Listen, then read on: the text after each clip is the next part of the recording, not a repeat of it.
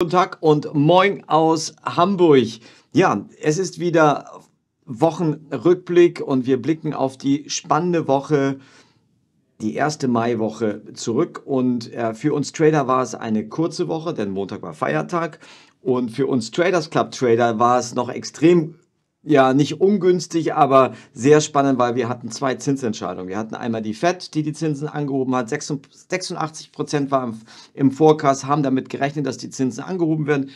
Die Zinsen wurden angehoben, die FED hat die Zinsen angehoben und die EZB hat nachgezogen.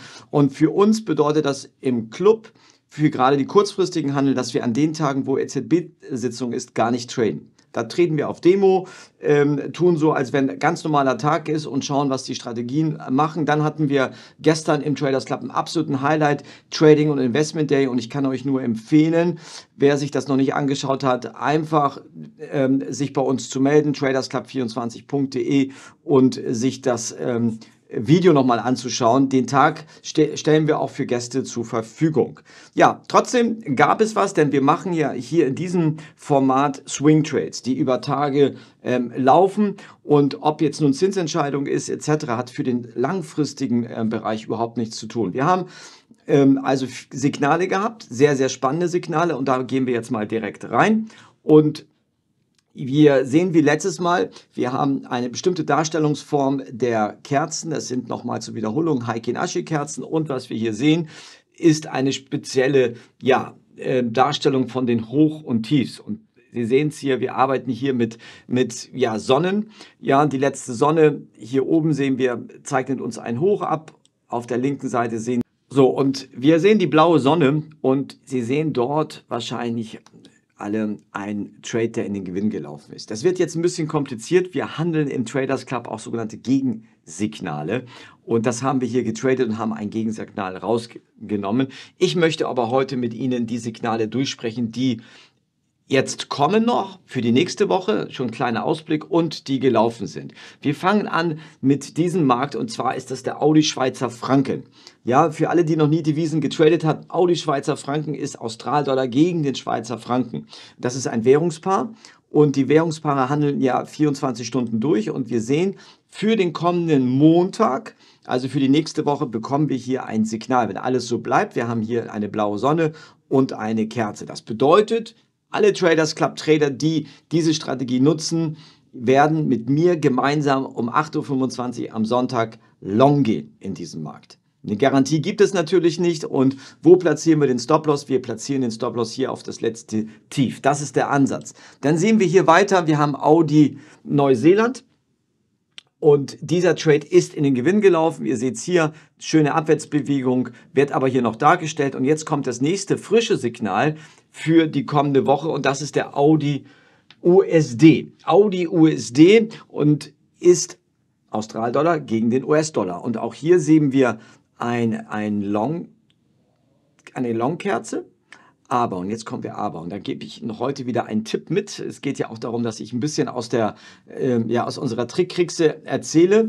Wir sehen hier eine rote Sonne und eine blaue Sonne. Rote Sonne, blaue Sonne. Und die Bewegung können wir mal abmessen. Und ich, jetzt muss ich ein bisschen rangehen. Die liegt bei 230 Pips, so nennt man das in der Volkssprache, 230 Punkte. Und wer unsere Vorträge und uns besucht, wird immer wieder, wenn wir diese Strategie erzählen, es geht wie bei uns jetzt hier an der Hamburger Elbe, übrigens, wir haben heute Hafengeburtstag, es geht immer auf, also Long und Flut und dann gibt es die Ebbe. Und es gibt die dritte Phase bei uns im Trading, das ist die Seitwärtsphase. Und wenn der Markt nicht mindestens 400 Pips, also 400 Punkte besser wäre noch 500, 600, 700 Punkte macht, dann könnten wir in die Gefahr eintreten, hier seitwärts zu laufen. Das heißt für mich, am Montag, auch wenn der Markt super aussieht, werde ich am Montag diesen nicht traden, weil wir eben halt hier, das sehen wir sehr schön, in so einer Seitwärtsphase ist. Das ist wieder ein Filterkriterium. Achtung, jetzt kommen wir zum Dow Jones. Dow Jones hat letzte Woche ja ein Gegensignal äh, generiert. Ja, erst Short, wir sehen es hier, dann gab es hier eine Long-Bewegung und jetzt haben wir wieder ein neues Short-Signal und der Trade war am Mittwoch und ist direkt in den Gewinn gelaufen. Nächster Markt ist, und wir sehen es hier, Euro-Austral-Dollar, also den Euro gegen den australischen Dollar. Und hier sehen wir sehr schön, wie eben erwähnt, Ebbe und Flut. Hier ist die Ebbe gewesen. Jetzt kommt, beziehungsweise der Tiefpunkt der Ebbe, jetzt kommt die Flut, das heißt, der Markt steigt, steigt, steigt, steigt, steigt und hier oben haben wir ein Signal. Dieses Signal, da brauche ich gar nicht abmessen, werde ich am Montag mit einem Clubmitglieder im Live-Trading-Raum umsetzen. Übrigens, wenn du das noch nicht wusstest, du kannst dir bei uns einen gratis Gastzugang nehmen und kannst Montag sogar live mit dabei sein. Das nur nochmal nebenbei. Britisch von Neuseeland ist in den Gewinn gelaufen. Wir sehen wir hier dort die Shortkerze und wir haben den Stocks. Eurostox ist in den Gewinn gelaufen und wir sehen hier S&P 500. So, Carlos, da war gestern ein Signal. Richtig. Habst, hast du denn das Signal heute umgesetzt? Nope. Warum nicht? Heute ist Freitag und die Börsen, auch die Devisen, die 24 Stunden durchlaufen, haben am Wochenende geschlossen. Und ich habe ein festes Regelwerk für mich, dass ich zum Wochenende am Freitag keine Position über Nacht halte, sondern ich werde am Montag diesen Markt nachträglich, den S&P, noch traden. Noch ist der Trade nicht in den Gewinn gelaufen, das heißt, ich habe noch alle Möglichkeiten und ich traue diesem Markt natürlich auch nicht nach, wenn es heute nach den Arbeitsmarktzahlen kommt, denn heute kommen die wichtigsten Konjunkturzahlen ever pro Monat. Am ersten Freitag des Monats könnt ihr euch aufschreiben, Arbeitsmarktzahlen. 14.30 Uhr heute, alle Trader schauen drauf, das ist ein Indikator für die Inflation. Ja, wie ist der Arbeitsmarkt am Laufen? Ganz, ganz wichtig. Das nur noch nebenbei. Auf dem Wochenbasis sehen wir, haben wir aktuell keine Trades und jetzt gebe ich nochmal was mit auf den Weg, was wir die Woche ähm, an alten Trades umgesetzt haben. Und da hatten wir einmal den Audi Kanadisch Dollar eine Position, die wir ähm, in den Trade gebracht haben auf Daily Basis. So, hier sehen wir sehr schön, wir sind besser reingekommen. Das gibt es auch. Wenn wir also nicht abends traden, sondern am nächsten Morgen mit mir und der Markt fällt, komme ich hier besser rein und wir sehen es hier, der Trade ist in den Gewinn gelaufen. Und was macht es? Es sind keine Millionen, die wir hier äh, verdienen. Es ist immer prozentual 0,1 Prozent vom Depot. Das bedeutet, das könnt ihr euch ausrechnen, wenn wir jeden Tag 0,1 Prozent machen, sind es ein halbes Prozent pro Woche.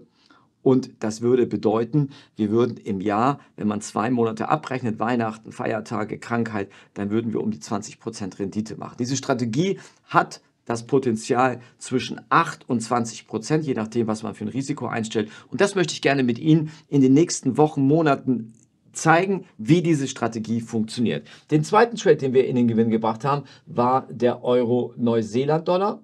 Und das war auch, und ich gehe hier ein bisschen mal rüber, so, das Signal und ihr seht hier Short-Signal und ist sauber zum 50-Tages-Durchschnitt. Das haben wir angekündigt. Nicht, dass ich jetzt hier eine Glaskugel habe, aber das war genau an dem Punkt, wollten wir aussteigen. Das haben wir gestern gemacht und das war's. Das heißt, wir haben zwei erfolgreiche Trades gemacht. Wir stehen in Vorbereitung auf die nächste Woche. Ich freue mich auf die nächste Woche. Ich wünsche Ihnen allen ein schönes Wochenende. Wenn Sie nicht in Hamburg sind, sind sie glücklich, weil wir, bei uns ist die Hölle los. Wir haben diese Woche, wie gesagt, Hafengeburtstag, da brennt die Stadt und nächste Woche das größte Online-Festival äh, in Europa, nämlich OMR. 70.000 Gäste werden in Hamburg erwartet. Ja, wer also nächste Woche sagt, Schatz, lass uns doch mal Carlos in Hamburg besuchen, ihr werdet definitiv kein Hotelzimmer mehr kriegen. Es ist komplett ausgebucht. In diesem Sinne, bleibt gesund, gute Trades und bis nächste Woche Freitag. Schönes Wochenende.